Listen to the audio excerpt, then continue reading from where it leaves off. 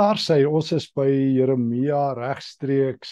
Dit is Woensdag aand. Dit is ons tweede reis uit die groot profeet Jeremia. Ek sê nou vir Peer net voordat ons uh, op die lig is dat uh, ek het nou vir 2 dae uh, baie dringend vir myself probeer om Jeremia gedeeltes wat ek vanaand doen op te lees en na te vors.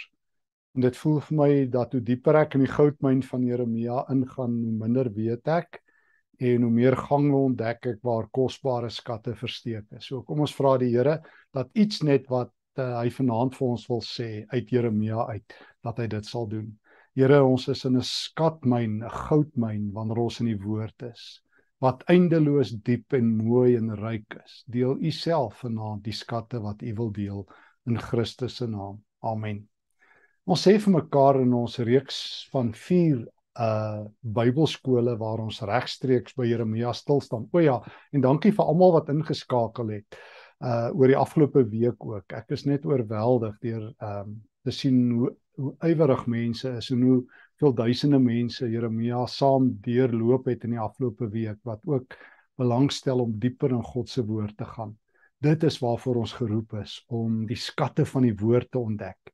Om in die taal van Psalm 119 ehm um, soos wat die psalmskrywer sê as te ware in die nag wakker te lê van opgewondenheid oor die woord van die Here wat so soeter as heuning is. Mag dit vanaand uh, nou dat ons uit die woord uitwerk so wees.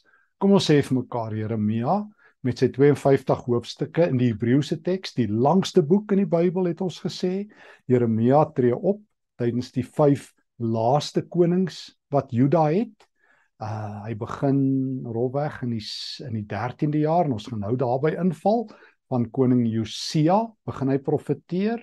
Dan beleef hy Joas, Jojakim, Jojagin en Sedekia en dan val Jerusalem in die jaar 586 voor Christus en daarna profeteer Jeremia nog teen die nasies. So ten minste 40 jaar rolweg vanaf die jaar 626 voor Christus begin hy optree in die 13de jaar van koning Josia. Hy ehm um, teoloog wil hom plaas teen hier rondom 5 as um, uh, 621 voor Christus as sy roepingsdatum. Maar hoe dit ook al sê, Jeremia as 'n boek met sy 52 hoofstukke is nie kronologies nie. Uh, dit loop nie um, van jaar tot jaar saam met die profeet se profeseë nie. Die finale boek soos wat dit saamgestel is sekerlik na Jeremia se dood. Deur 'n finale redaktor of redaktors het dit nie kronologies verpak nie. En daarom is dit nie maklik om al die profeseë agter mekaar te kry soos Jeremia dit lewer nie. Met ander woorde in kronologiese volgorde nie. Die boek in sy finale vorm Jeremia is waarskynlik die eerste keer gelees deur Israeliete in die ballingskap in Babylon En miskien was die groot vraag wat op hulle harte was, was die vraag wat ek um, daar in Jeremia hoofstuk 6 raakloop. Ek wil net vinnig soen toe blaai. Ekskuus, ek net my Bybel draai. Ehm um, toe die boek daar by hulle aangekom het en hulle sit in ballingskap. Dis Israeliete wat weggevoer is, wat hulle land, hulle grond, hulle identiteit alles verloor het.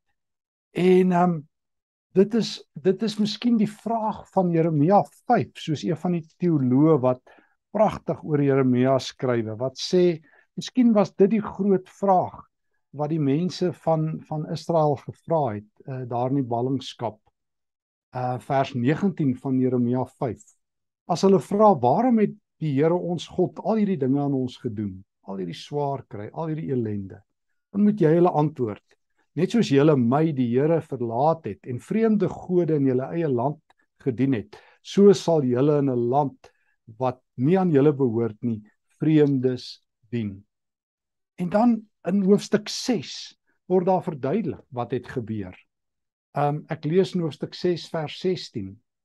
staan by die kruispaaie en kyk en vra na die ou paaie. Vra watter pad die beste is en loop dit, dan sal jy rus vind maar hulle het gesê ons sal nie daardie pad loop nie. Toe het ek wagte, so dis die Here wat aan die woord is. Toe het ek wagte oor julle aangestel en gesê luister na die ramshoring. Maar hulle het geantwoord, ons sal nie luister nie. En uh daarom is Jeremia se mense, die Israeliete, nou in die buiteland, vreemdelinge. So toe die boek daar by hulle aankom die eerste keer, hierdie reuse boek met al Jeremia se profesieë. En die Israeliete, die eerste lesers vra daar as gevangenes, "Hoekom ons?" Dan gee die boek Jeremia eintlik 'n antwoord. Die boek Jeremia wil vir ons vertel van die almag van God. Hy is die almagtige, die soewereine God oor sy volk, oor die nasies, oor die wêreld en oor die ganse tyd. God se soewereiniteit is nooit in die gedrang nie, nooit nie. Hy bly die almagtige. Al val Israel, al tree daar heidense konings op, al loop die tyd deurmekaar vir Israel, nooit word God se soewereiniteit, sy almag aan bande gelê nie. Maar Jeremia, kom ons kom ons sluit um, by die boek aan, die boek Jeremia, veral die eerste 20 hoofstukke. Ehm um, veral dan hoofstuk 1 tot 10 is kenmerkend vir baie poësie. Proos, dit is in terme van prosa en poësie saamgestel. En hoofstuk 11 tot 20 het nou weer 'n sestal gebede, gesprekke van Jeremia met God. So ehm um, die eerste 20 hoofstukke wat ons dan nou terugbring histories na die tyd toe Jeremia begin optree het. So, kom ons begin by koning Manasse. Uh wat koning Josia se oupa is, die koning tydens wie se regering Jeremia begin optree het. Twee kronieke vertel vir ons um in hoofstuk 33 van Manasse wat wat 55 jaar geregeer het en die goddelooste koning was seker wat Israel ooit gehad het. Hy was die badste bad die verlorenste verlore seun van Israel. Ek weet nie wat se trappe van vergelyking van verlore nie. Ek weet nie of daar is nie, maar kom ons maak sommer ons eie. Verlore, verlorener, verlorenerste. Ek weet nie. Taalkundiges sal probleme hê, maar hy was die verlorenste seun van die Ou Testament. So sleg was Manasse dat die skrywer van Konings in 2 Konings 20 net vertel van al sy goddeloosheid en toe sê hulle hy's dood. Dit is kronieke wat 'n draai maak en sê hy het tot bekering gekom. Maar vir die grootste deel van sy regering van 55 jaar het elke denkbare afgoderry in Jerusalem plaasgevind. Die Kanaanitiese god, god gode Asherah, die vroulike god en Baal, die manlike god, is openlik aanbid. Tempelprostitusie is in die heilige tempel van die Here toegelaat. Trouwens, as jy in Jerusalem gekom het, kon jy met tempelprostituie in die tempel gaan ehm uh, gemeenskap hê in daardie tyd. En kon jy net buite Jerusalem by die Hinnomdal wat eintlik Jerusalem se ashoop was, die god Molech aanbid en kon jy beleef hoe dat koning Manasse self sy een kind in die vuur gaan gooi het vir Molech. Dit was skrikwekkend. Daar was towenaars, waarsêers, seksuele orgies die een kriminele ding na die ander aan die gang. Die skrywer van die boek Koning sê Jerusalem was van hoek tot kant vol van die bloed wat Manasse vergiet het. Kom hy tot bekering en hy roei dit alles uit. So vertel uh, eh, 2 Kronieke 33. Maar toe hy sterf, toe neem sy seun Amon by hom oor, 2 jaar en alle goddeloosheid is weer terug. En dan as hy sterf, word sy seun Josia en ek sluit by 2 Kronieke 34 aan word hy die koning van Juda. En op 8 jarige ouderdom ek lees in 2 Kronieke 34 vers 1 Josia was 8 toe hy koning geword het hy het 31 jaar oor Jerusalem geregeer. En Jeremia 1 vertel dit was in die 13de jaar van koning Josia rolweg die jaar 626 dat Jeremia begin optree. Nou Josia was seker loshande die mees godvreesende koning wat Israel ooit gehad het. Hy en Hiskia en Dawid en al die groot manne, maar dit lyk vir my Josia was die grootste geestelike leier wat Israel gehad het. Ek lees in vers 3, ek is nog steeds by 2 Kronieke 34. In die 8ste jaar van sy regering toe hy nog 'n jong man was, letterlik 15 of 16, het hy begin om die God van sy voorvader Dawid te dien. En in die 12de jaar het hy begin om Juda en Jerusalem te suiwer van sy hoogtes, gewyde palle, gesneede en gegote beelde. Hy het toegesien dat die altare van die Baals verwoes word en die wierookaltare het hy stikkend geslaan. Hy het ook die gewyde palle en gesneede palle stikkend geslaan, het die afgodspriesters uitgeroei ensovoorts ensovoorts. Dan lees ek in vers 8 in die 18de jaar van sy regering. So onthou hy word op ouderdom 8 koning, so ons is nou hier by rondom ouderdom 25 En toe Jeremia net so 'n paar jaar moontlik reeds profeet, uh toe hy nog besig was, dis nou Josia, om die land en die tempel skoon te maak, het Josia vir Safan, seun van Asalja, die stadsbevelvoerder Maasjeja en die hoofuitvoerende beampte Joag, seun van Joahas gestuur om die huis van die Here sy God te herstel. En terwyl hulle daar is om die tempel te herstel, gebeur daar 'n merkwaardige ding. Jy sal dit nie glo nie. Um Ek lees in vers 14. Terwyl hulle die geld wat uit die huis van die Here ingebring is uitgehaal het, het die priester Gilkia die boek gekry met die wet van die Here wat deur bemiddeling van Moses aan Israel gegee is. Toe ontdek hulle na alle waarskynlikheid die boek Deuteronomium in die tempel. Nou dit klink vreemd, maar dit het so sleg gegaan in Israel vir soveel jare dat die woord van God verdwyn het. En eers in die 18de jaar van koning Josia word die Bybel in die tempel ontdek. En die priester Gilkia vat dit dadelik na na Josia toe. En dit word aan die koning gelees vers 18. Toe die koning hoor vers 19 wat die wet sê, het hy sy klere geskeur. En uiteindelik moet die moet die profetes vers 22 guldag gaan praat. En Ons lees van radikale reformatie en in hoofstuk 35 van 2 Kronieke van die Paasfees en van 'n koning wat sy hele volk tot hervorming oproep. Nou kyk, dit is die tyd dat Jeremia optree. Dis wanneer hy begin optree in die 13de jaar van die vroomste koning van Israel, konsekwent die vroomste. Dawid het sy oomblikke, maar hy val ook diep. Josia is die super hervormer. Mense sou verwag het dat Jeremia se profeseë sou oorloop van melk en honing. Niks daarvan nie. Ek lees in hoofstuk 3. Ek wil graag saam met jou uh vir 'n oomblik net deur hoofstuk 2 en 3 van Jeremia blaai en dan nou hoofstuk 11 en 12. Ek lees um in Jeremia 3 vers 5 net om te begin. Vers 6 van Jeremia. Jeremia 3 vers 6. Dit was tydens die regering van koning Josia Die Here het vir my gesê, "Het jy gesien wat die ontroue Israel gedoen het?" Nou kyk. 'n Koning kan net so ver hervormings bring. Maar maar ons almal sit ons hoop op politici om gelowig te wees.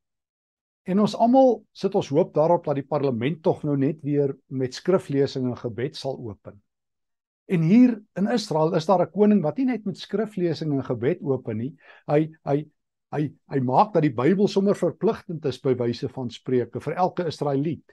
Hy kap elke afgodstempel af. Hy verwyder elke prostituut uit die tempel.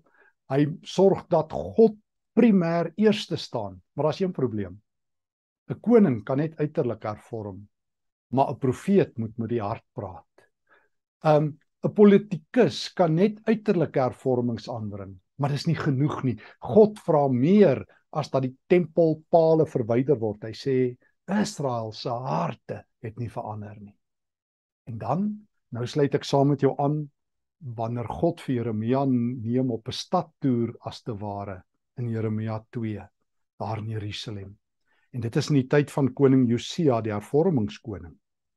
Jeremia 2 tot en met Jeremia 3 vers 5 is 'n verhaal wat begin met God se huwelik met Israel en hoofstuk 3 vers 1 tot 5 met God se egskeiding met Israel. So dit begin vanaf 'n huwelik tot 'n egskeiding.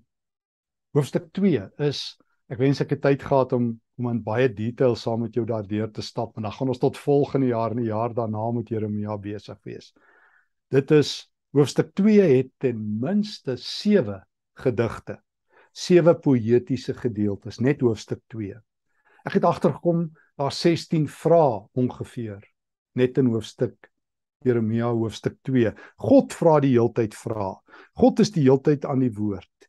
Um en en en dan is daar ook nog um 19 beelde, simboliese beelde wat gebruik word om die verhouding tussen God en Israel uit te druk en nege aanhalings. Nou dit klink baie kompleks, maar in gewone taal, kom ons gaan kyk. Hoofs in die eerste gedig wat ons het in Jeremia 2 vers 1 uh, eh, vers 2 tot uh, 3 begin God met 'n huweliksbeeld. En dit klink baie soos Hosea 9 en Hosea hoofstuk 11. Ek haal aan Jeremia 2 vers 2. So sê die Here. Nou praat die Here met Israel. Ek onthou nog hoe getrou jy aan my was in jou jeug. Hoe jy my liefgehad het toe jy my bruid geword het. Nou daai woord vir getrouheid, gesed, wat ehm um, gebruik word in Jeremia 2 vers 2 word baie vir God self gebruik. God se verbondstrou, sy ehm um, uh goedertierendheid, sy mercy, sy onvoorwaardelike verbondsliefde.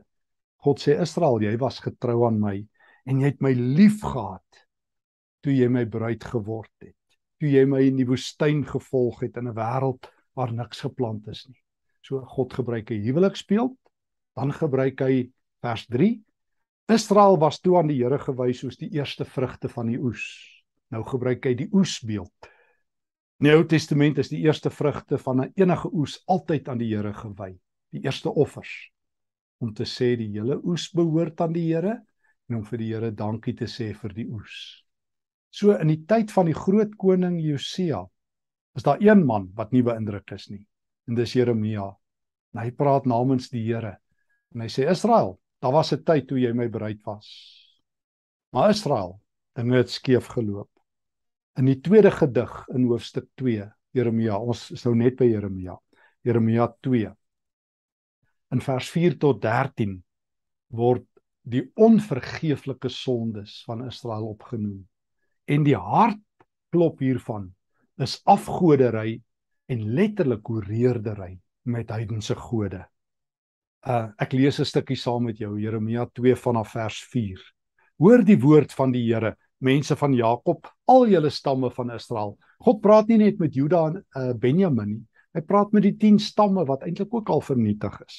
So sê die Here: "Waarin het ek gefaal dat julle voorvaders van my af weggedraai het, dat hulle niks werd afgode gedien het en self niks geword het nie?" God sê, "Wat het ek aan julle gedoen?" Hulle het nuttelose afgode gedien, vers 5, en self nutteloos geword. Dis die effek. Wanneer jy 'n dooie afgod dien, word jy self dood. Wanneer jy 'n nuttelose afgod dien, raak jy self nutteloos. Vers 6. Hulle het eers gevra, "Waar's die Here wat ons uit Egipte laat optrek het nie?" Hulle het dit hulle nie eens gepla dat die Here hulle gered het met ander woorde nie. Hulle het nie vertel, onthou julle wat het God gedoen nie? Hulle het net nie omgegee nie. They didn't care. Ek het julle in 'n vrugbare land gebring vers 7 om die goeie dinge te geniet.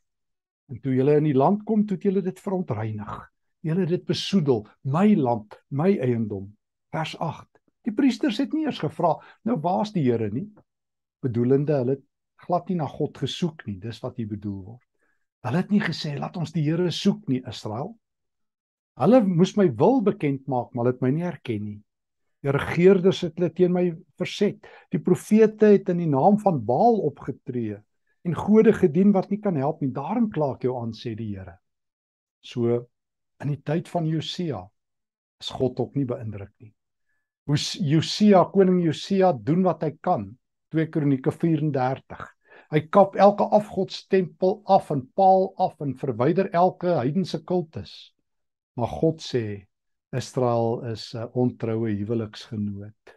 Hulle God het hulle in 'n nuwe land ingebring, het vir hulle alles, alles gegee wat hulle wil hê. En toe toe verontheilig hulle dit alles. Nou vra God, gaan kyk 'n bietjie by die heidense lande vers 10 en 11. Waar is 'n ander land wat ooit hulle gode ingeruil het? Die almagtige God opgeruil het vir dooie gode wat hulle nie kan help nie vers 11. Selfs die hemel moet daaroor skrik en beef en sidder sê die Here. Vers 13: My volk het twee sondes begaan. Hulle het my die bron van lewende water verlaat. Hulle het vir hulle self waterbakke uit klip gekap wat bars en nie water hou nie. Israel het twee sondes gedoen. Hulle het God verlaat en bakke vir hulle lewende water gebruik wat nie water kan hou nie.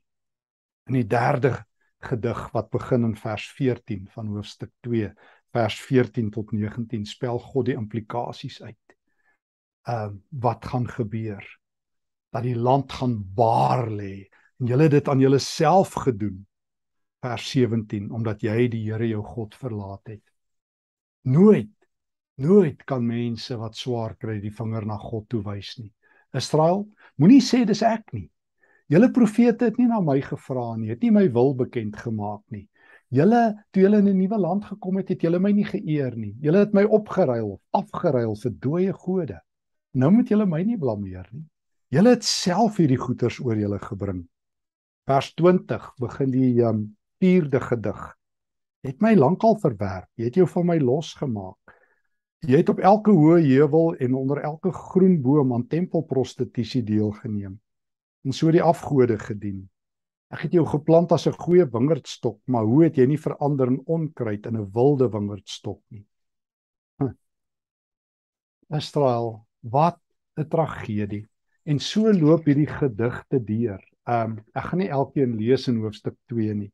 Maar die kort en die lank is as ek by die derde gedig kom in hoofstuk 2 vers 33 dan sê die Here hoe geoefen is jy nou al nie in die kuns van minnaar soek nie het so gewoond geraak aan die kwaad. Die some van jou klere is vol bloed. Vers 36. Hoe laag het jy gedaal? God se hart breek. Sy volk wat hy gekies het, wat hy gelei het, vir wie hy land gegee het, 'n eie plek gegee het in sy hart. Bedryf afgodery, verruil God vir dooie afgode. Die gevolg: God skei van Israel. Maar hier's nou 'n probleem uh, Jeremia 3. Ek lees saam met jou vers 1. Die Here vra: Mag 'n man as hy van sy vrou skei en sy hom verlaat en 'n ander man se vrou word na haar toe teruggaan, sal die land nie vreeslik verontreinig word nie? Presies. Jy moet nou onthou. Um jy moet nou onthou wat hier gebeur het. Koning Josia het pas die wetboek van Deuteronomium ontdek. Onthou jy, ons het dit mos nou-nou gelees in 2 Kronieke 34. Die wetboek, God se wet is weer sentraal. En nou is daar 'n dilemma. God haal presies hier in Jeremia 3 vers 1 en 2 Deuteronomium 24 aan. Die wet in Deuteronomium 24 bepaal dat as 'n vrou haar man verlaat en met 'n ander man trou, Ehm um, en hy los haar. Daai ander man skei haar, kan sy nie teruggaan na haar vorige man nie. Dit is wetsoortreding. Kom ek lees dit vir jou in Deuteronomium 24. Wanneer 'n man met 'n vrou trou, kan dit gebeur dat hy haar nie meer liefhet nie omdat hy iets onbetaamliks na haar gevind het. Dan skryf hy vir haar 'n skeibrief en stuur haar uit sy huis weg. Sy kan dan uit sy huis uit gaan met 'n ander man trou. As haar tweede man haar ook later nie meer liefhet nie en 'n skeibrief skryf en dit vir haar gee en haar uit sy huis uit wegstuur, of as haar tweede man sterf, mag haar eerste man wat haar weggestuur het nie weer met haar trou nie. Sy is verontreinig.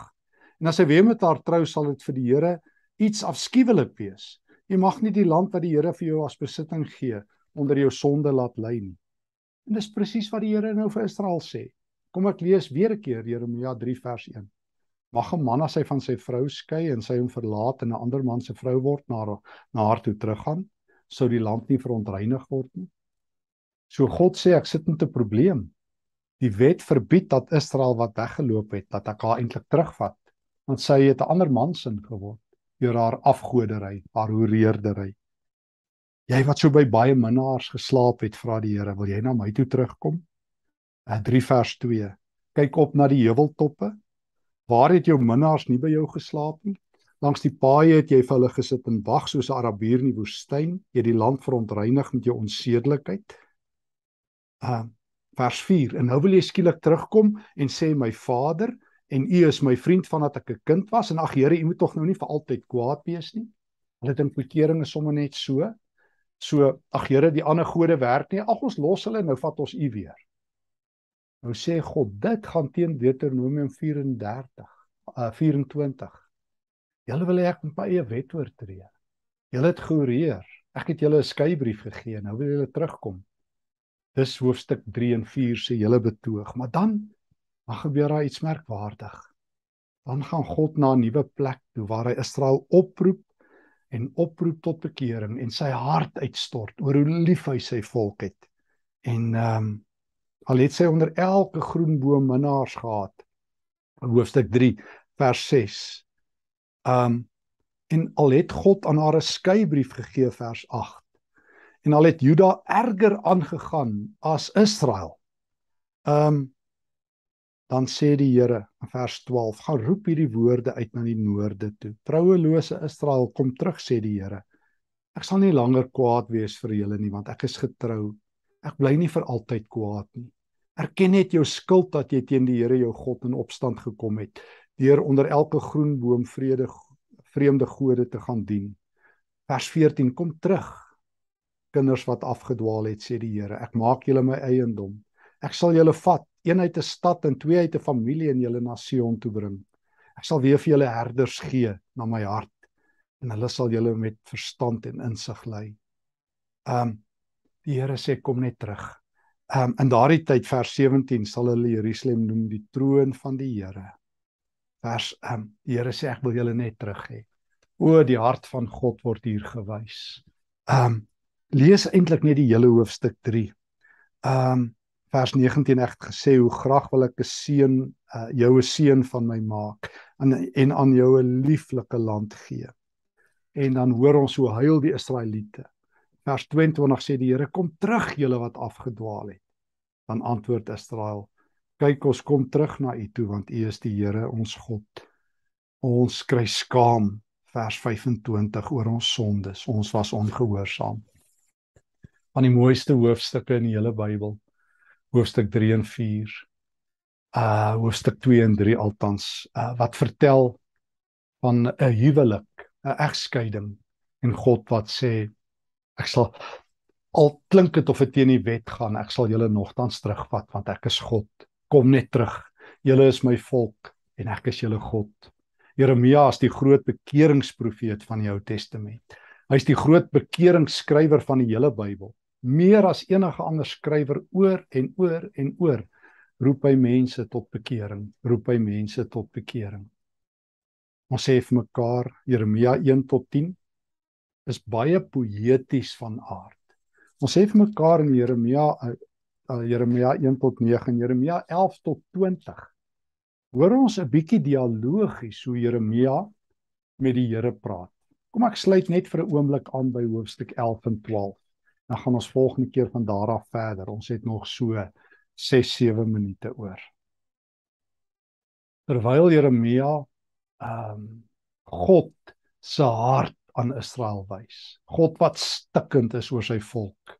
God wat 'n vader is en liefhet. Ehm um, is Jeremia ook die een in Jeremia hoofstuk 11 wat ehm um, wat God se verbond waarvan die boek Deuteronomium praat glashelder met Israel deel. Um in Jeremia hoofstuk 11 vers 1. Dit is die woord van die Here wat tot Jeremia gekom het. Luister na die bepalinge van hierdie verbond en sê dit vir die mense van Juda en die inwoners van Jerusalem. So sê die Here, die God van Israel: Vervloek is elkeen wat ongehoorsaam is aan die bepalinge van hierdie verbond wat ek julle voorvaders beveel het toe hulle uit Egipte uit die ystersmelt oond bevry het. Ek het gesê luister na my en doen alles wat ek julle beveel, dan sal julle my volk wees en ek julle God. Presies die taal van Deuteronomium 4 vers 20 en Deuteronomium 26 vers 18 en 19. So daai wetboek wat koning Josia ontdek het wat in hoofstuk 2 en 3 die hartklop vorm van God se liefde. Nou kom God en herinner Israel weer daaraan. En dis baie eenvoudig. Die Deuteronomium boek is glashelder. En dis nie ingewikkeld nie. Luister na die Here, gehoorsaam hom en jy sal geseënd wees. In 'n ordelike samelewing, in 'n samelewing waar daar 'n duidelike verband is tussen oorsaak en gevolg, In die wêreld waarin ek groot geword het, as ou dominee gesê het maak so, dan het ons so gemaak. As die onderwyser so gesê het, het ons geluister. Waar alles eenvoudig en maklik en verstaanbaar was, waar links links was en regs regs en bo bo en onder onder. Nou's onderste bo en boonste onder en agterste voor en niemand kan meer sin maak nie. Ons samelewing het geskuif van 'n ordelike samelewing na 'n komplekse samelewing en 'n gekompliseerde samelewing en selfs 'n wanordelike samelewing waar niks meer sin maak nie. En binne hierdie ordelike samelewing wat God vir Israel geskep het, was dit eenvoudig: gehoorsaam my wette, luister na my en ek sal julle seën. En as julle nie na my luister nie, dan sal ek julle straf.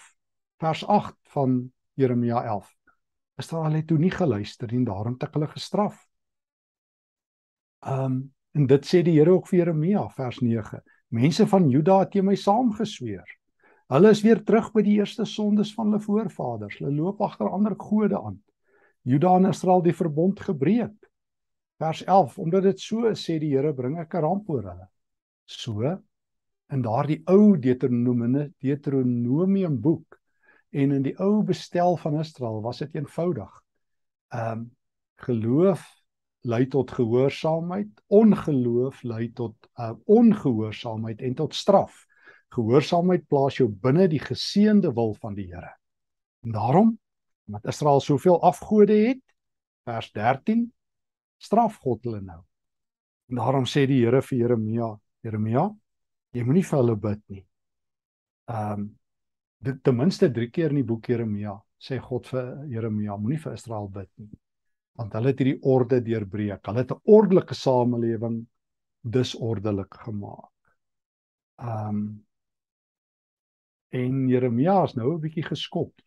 En hier kry ons die ander kant hier van hoofstuk 11 tot 20. Ons kry dus hierdie twee lyne in die boek Jeremia. Uh in hoofstuk 11 tot 20 hierdie ordelike samelewing waar oorsaak en gevolg maklik is, gehoorsaam die Here en seën volg of wees ongehoorsaam en straf volg. En nou kom Jeremia en hy begin begin daaroor dink en hy dink Here, maar dit maak mos nie sin nie. En van nou af begin hy bietjie terugdruk. So ons het te gelyk hierdie twee strome. Ons het hierdie ordelike samelewing wat God geskep het. En nou is Jeremia in gals en in straf. En hy sê Here, dis daarom ook nie regverdig dat U net seën en dat U straf nie. Nou begin hy bietjie terugdruk op die Here. Ek lees byvoorbeeld hoe hy in hoofstuk um uh 11 vers 18 bietjie begin terugdruk.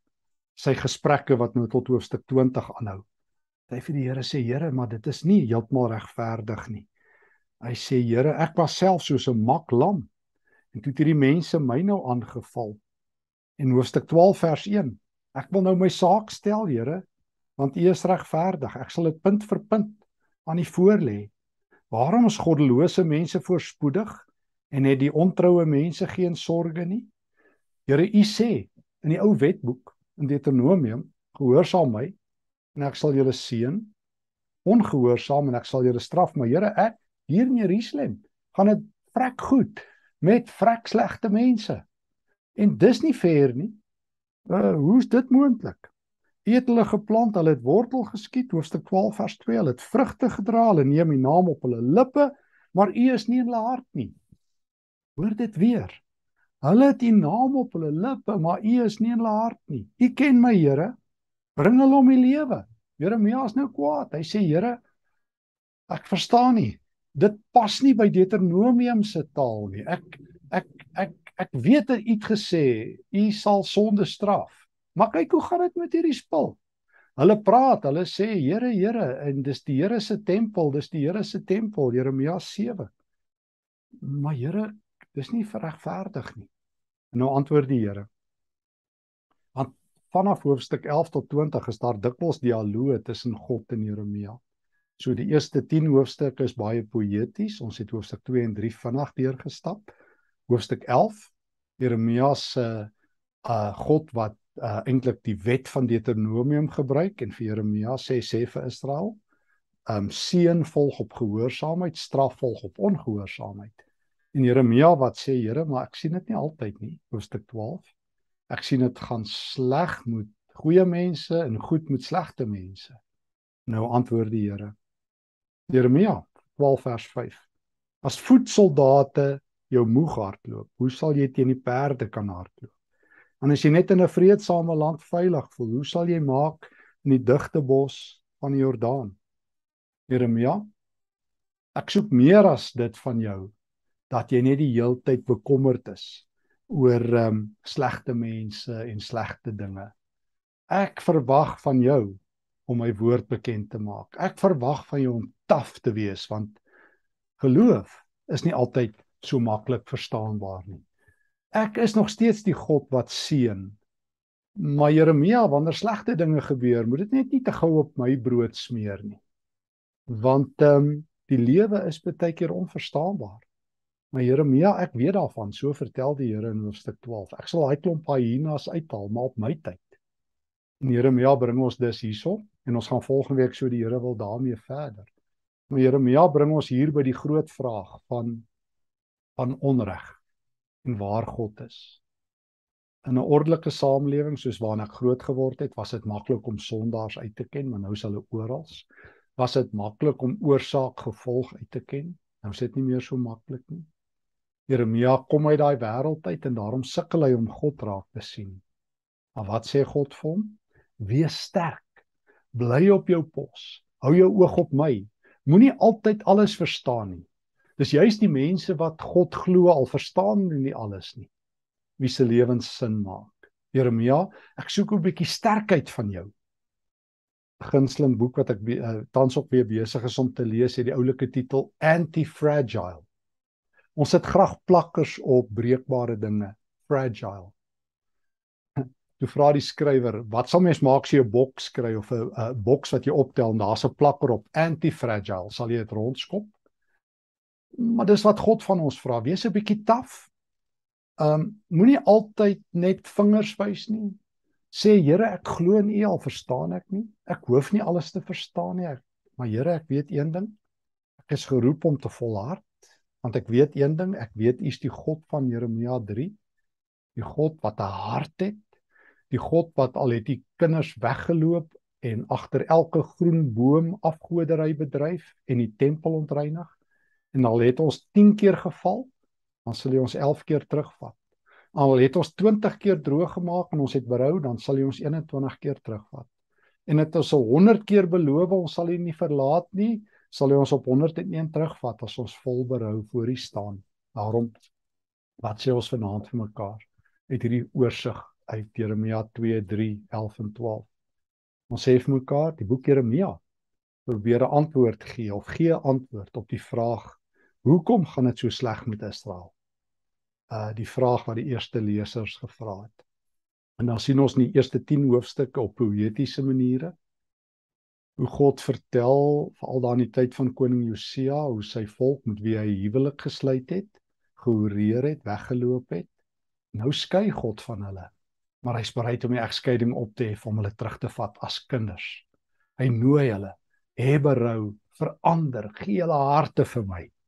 Maar dit help nie. Nou sien ons hier in hoofstuk 11 dat Israel alweer die verbondsbepalings van die boek van Deuteronomium wat in hulle tyd ontdek is oortree dat hy hulle gaan straf.